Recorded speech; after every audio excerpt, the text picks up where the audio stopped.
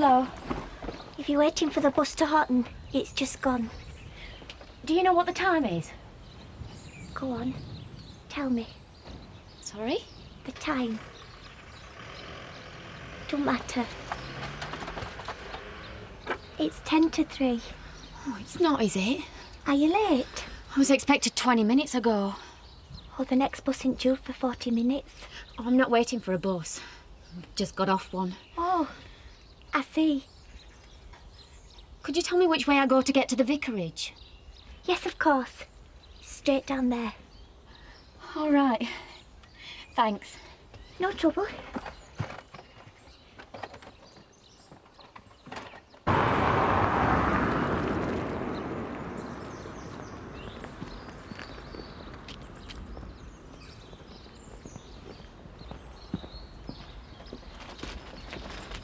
Are you all right?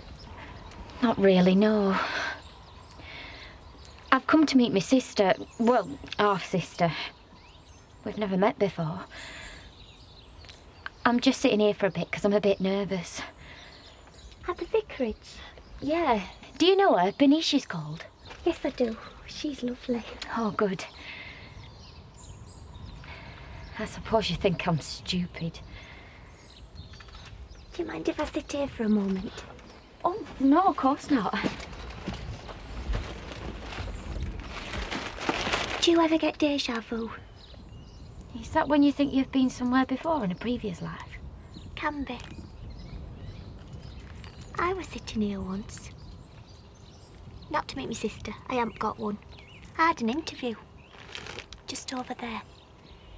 I just got off the bus. And I was petrified. It was a new beginning for me. In more ways than I ever could have known. He walked past, you see. He saw me waiting here. Butch was his name. And he were the best thing that's ever happened to me. Maybe meeting Bernice will be the best thing that's ever happened to you too. Is he your fella? He was. I've got a fella. Darren. Want to see his picture? Okay.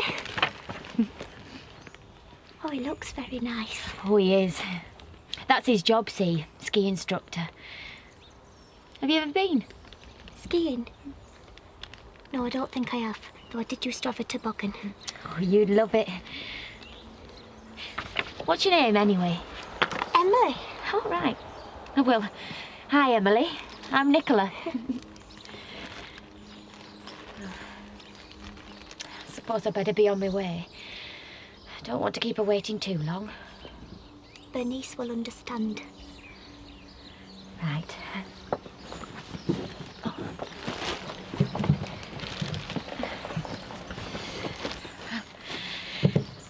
Here goes then.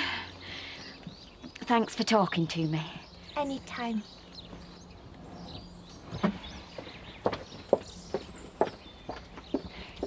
It were wonderful knowing you, Butch.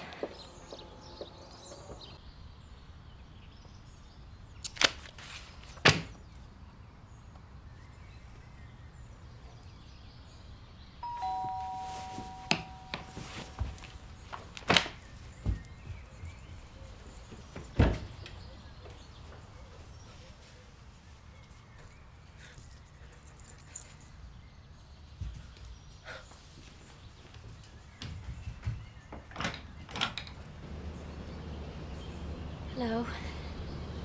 Bernice. You must be Nicola.